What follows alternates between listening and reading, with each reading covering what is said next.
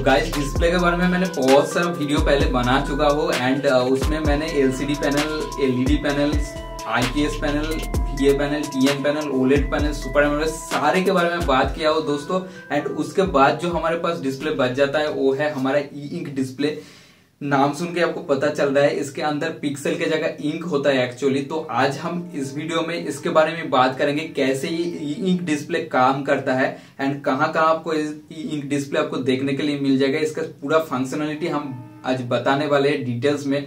सो so, चलिए जल्दी से जल्दी शुरू किया जाए। एंड मैंने जो डिस्प्ले के बारे में वीडियोस बनाए हैं वो इसका लिंक आपको डिस्क्रिप्शन में मिल जाएगा या तो आई कार्ड में मिल जाएगा आप वहाँ से जाके चेक कर सकते हो बहुत ही आपके लिए हेल्पफुल रहेगा।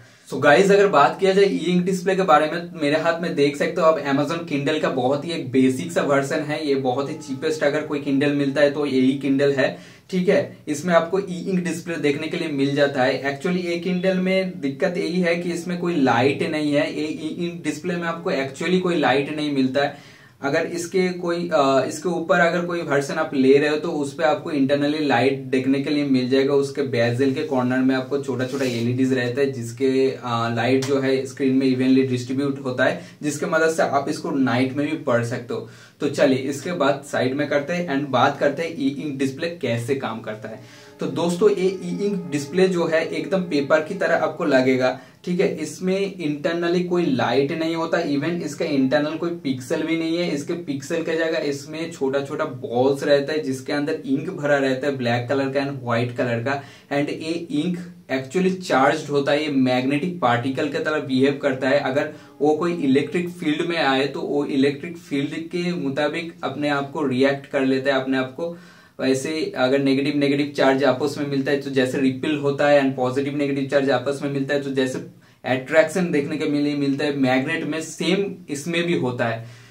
तो बात यह है कि दोस्तों, इसके अंदर, ये डिस्प्ले के अंदर छोटे छोटे ऐसे बॉल्स रहते हैं। पहले मैं ये बता देता हूँ, जो डिस्प्ले एक्चुअली होता है, जैसे एलसीडी देखते हैं आप एलईडी देखते हैं आप तो उसके अंदर जो है स्क्रीन के नीचे छोटे छोटे पिक्सल्स होता है, जिसमें आपको तीन तरह के कलर मिलता है R G and B basic जो कलर है, इसको आप मिला के आपको सारे कलर प्रोड्यूस करके आपको स्क्रीन में देखने के लिए मिलता है। अगर आप ओलेड की बात करो तो ओलेड का जो पिक्सल है, खुद जलता है। एंड अगर आप एलसीडी एंड एलईडी के डिस्प्ले के बारे में बात करो तो उसके अंदर जो बैक पैनल होता है बैक पैनल में आपको एलईडी का तो फ्लोरोसन लाइट का सपोर्ट दिया जाता है। वो लाइट आपको पिक्सल के थ्रू पास होकर आपको कलर जो है प्रोड्यूस करवाता है।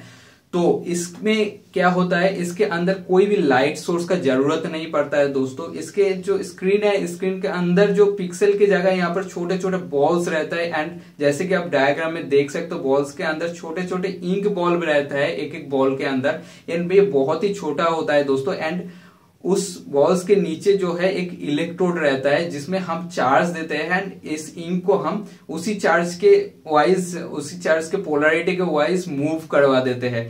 तो कैसे होता है? जैसे कि आप डायग्राम में देख सकते हो, ये जो ब्लैक कलर की इंक है, ये एक्चुअली नेगेटिव चार्ज वाला इंक है एंड जो व्हाइट कलर का इंक है, ये एक्चुअली पॉजिटिव चार्ज वाला इंक है। तो जब भी हम ये नीचे वाले इलेक्ट्रोड में नेगेटिव चार्जेस प्रोवाइड करते हैं तो ये नेगेटिव चार्ज वाला ब्लैक कलर का इलेक्ट्रॉन ऑटोमेटिकली ऊपर चला जाता है एंड जो इंक है व्हाइट चार्ज वाला जो पॉजिटिव इंक है, वो नीचे चला आता है। तो जो ऊपर चला जाता है दोस्तों, उसी को हम ब्लैक देखते हैं, उसी जगह के पिक्सल को हम ब्लैक कलर देखते हैं। तो स्क्रीन में अगर हमको ब्लैक कलर शो करना है किसी पिक्सल में तो हम उसके नीचे नेगेटिव चार्जेस प्रोवाइड कर देता है सिंपल और ये इंक एक बार ऊपर जाने के बाद ये हमेशा ऊपर ही रहता है। दोस्तों, चाहे लाइफ टाइम चाहे कुछ भी हो जाए बैटरी डेड हो जाए, इसको कोई एक्सटर्नल पावर सोर्स की ज़रूरत नहीं है दोस्तों इसका कलर को मेंटेन करने के लिए। यानी आपको एक बार पिक्सल में जो ब्लैक आ गया तो वो हमेशा ब्लैक ही दिखाएगा अंटिल आप इसे चेंज करके व्हाइट ना करो तो।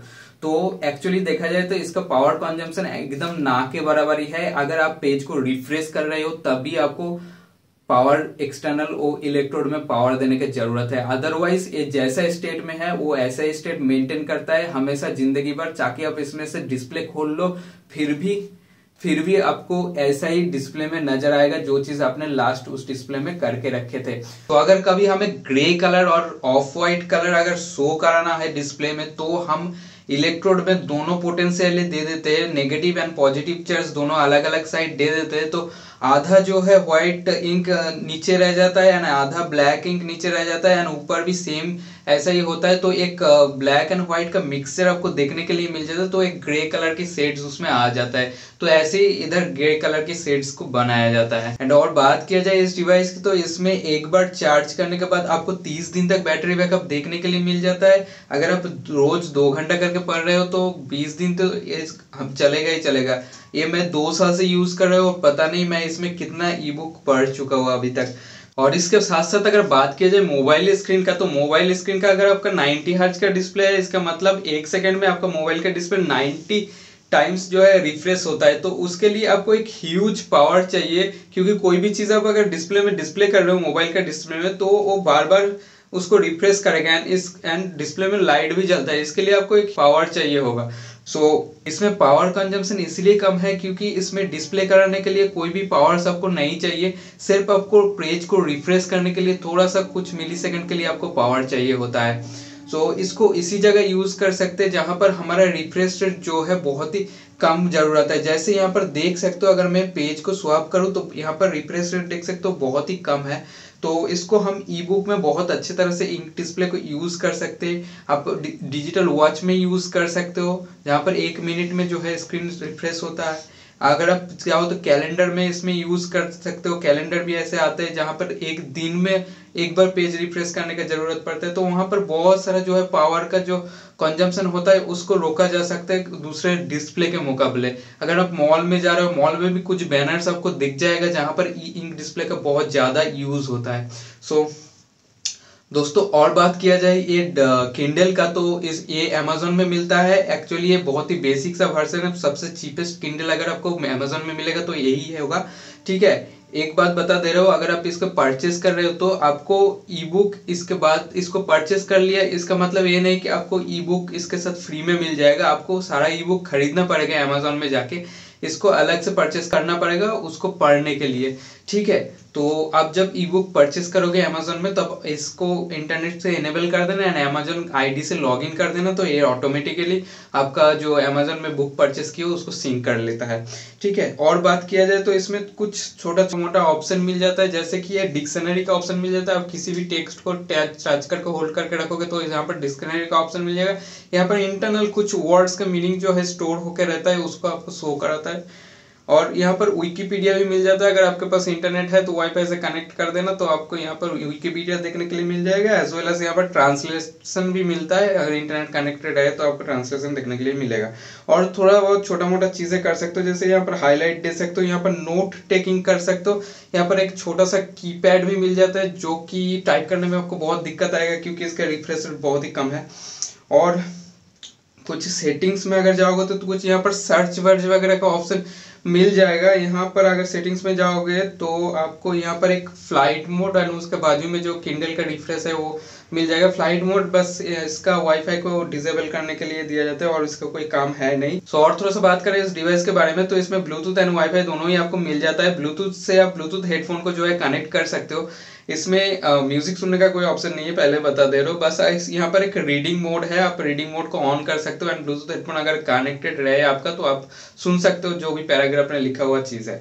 और बात करें तो इसका डिज़ाइन का बहुत ही अच्छा है, बहुत ही स्लिम सा दिखता है वेटलेस भी है। एंड काफ़ी हद तक ये पेपर के जैसे ही मेरे को फील होता है, लग रहा है, लगता है कि ओरिजिनली बुक पढ़ रहा हो। और नीचे की तरफ़ यहाँ पर आपको पेपर पेज नंबर वगैरह मिल जाएगा। एंड उसके बाजू में आपको कितने परसेंट आप बुक रीड कर चुके हो, वो भी उसका भी मिल जाएगा ऊपर आपको टाइम देखने के लिए मिल जाएगा। और बाकी पूरा ही बुक के जैसा ही है ये।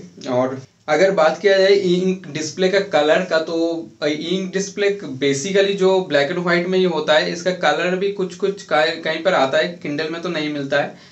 लेकिन ये कलर डिस्प्ले भी आता है, लेकिन कलर में आपको बहुत कम ऑप्शन मिलता है, क्योंकि ये एक्चुअली इंक है, इसमें ज़्यादा आपको वेरिएंट देखने के लिए, ज़्यादा आपको ऑप्शन देखने के लिए मिलेगा नहीं। So that's all for today अगर वीडियो अच्छा लगे तो लाइक कर देना मेरे चैनल को सब्सक्राइब कर लेना, क्योंकि ऐसे ही ज्ञान का बातें लेके हम आते रहेंगे। अगर कुछ आपको सजेशन रहे तो कमेंट सेक्शन पर डाल देना। सो आज के लिए इतना ही। मिलते हैं नेक्स्ट वीडियो में।